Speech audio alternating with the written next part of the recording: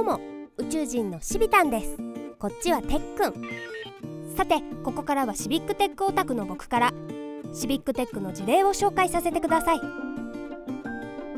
事例その1新型コロナウイルス感染症対策サイト。2020年3月3日にリリースされた東京都コロナウイルス対策サイト。実はこれシビックテックの賜物なんです。最新の累計陽性者数をはじめとしたデータを公開するだけでなく日本語以外の言葉でも読めるように工夫されていたり多くの人が見やすいグラフの色使いになっていたりとコロナ対策に役立つ幅広い情報をアクセスしやすくまとめています。国内外から約300人のシビックテッカーが開発に携わり短期間で開発されました。そして東京都版をもとに約80地域の派生版コロナウイルス対策サイトが作られ国内外に広がるムーブメントになりました。地域の暮らしを守りたいという志の数が大きなムーブメントを起こしたってなんだか素敵な話ですね。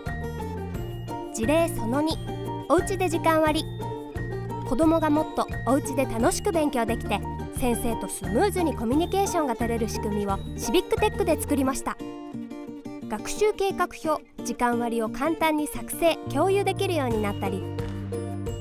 オンラインで学習教材や課題を生徒に共有することで勉強をサポートできたり。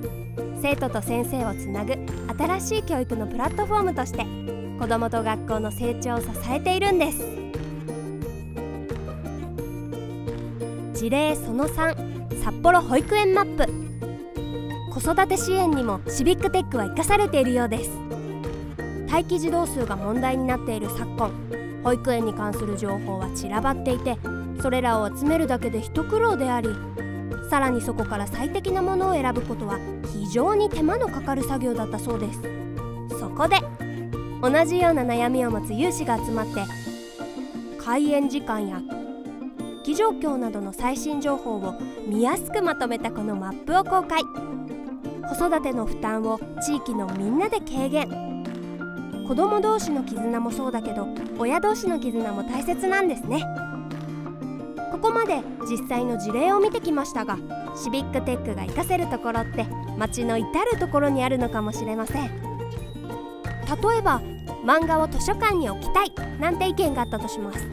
するとそこには漫画のセリフの中で人生の教訓に出会うことがあります。子供の学習に影響が出るのも心配。漫画を通して若い世代の人に伝えたいことがある。日本の文化に興味を持ったのは漫画がきっかけでした。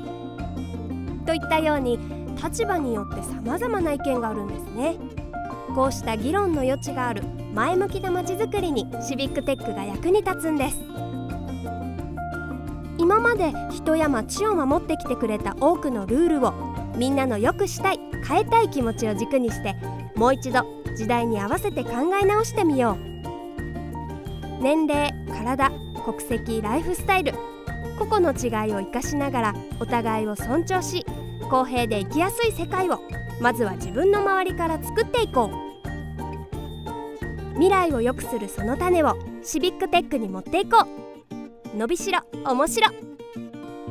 コードフォージャパン。